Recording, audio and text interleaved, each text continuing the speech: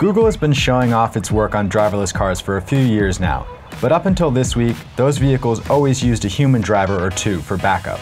There was a steering wheel, brakes, and gas, just in case the computer conked out or a person needed to take over in an emergency. But all that has changed with the introduction of Google's new, completely autonomous vehicles. The prototype car doesn't have a steering wheel or pedals, and passengers are buckled into what are essentially back seats. These cars aren't street legal yet, but while regulators iron out the details of when and where they can drive, Google is intent on showing that automobiles are far safer without any input from us puny humans. Ron Medford, Google's director of safety on the driverless car project, says that more than 90% of automobile accidents are caused by human error. That adds up to around 33,000 people killed every year, the leading cause of death for people between the ages of 4 and 34. Google's newest unit is purpose-built for safety.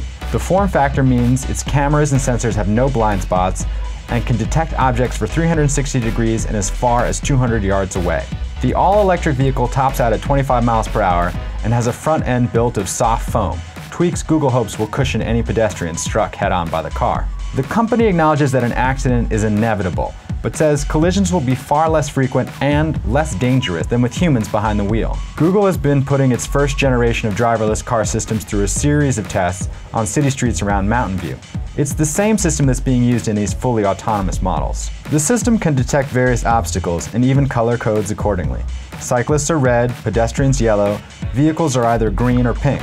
The system so far can detect cones, construction zones, railroad crossings, and yes, it knows when a bicyclist raises his hand to change lanes and then changes his mind at the last minute.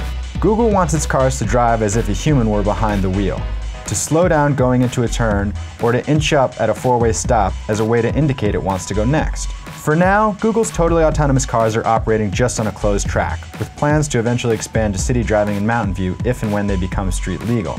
When that happens, Google's safety systems will likely be tested not just by chance, but on purpose. Insurance fraud is already common among tractor trailers, with scammers getting into accidents so they can sue for damages. If people are willing to throw themselves in front of a speeding semi, imagine what they'll do to a foam cushion car owned and operated by one of the richest companies on earth. Google knows this is coming, and it's doing its best to play things cool. Every driverless car is going to be equipped with multiple cameras that will record any accident, meaning there will be plenty of evidence to show who's really at fault. As Sebastian Thrun, the original inventor of Google's driverless cars, told the New York Times, the big losers are going to be the trial lawyers.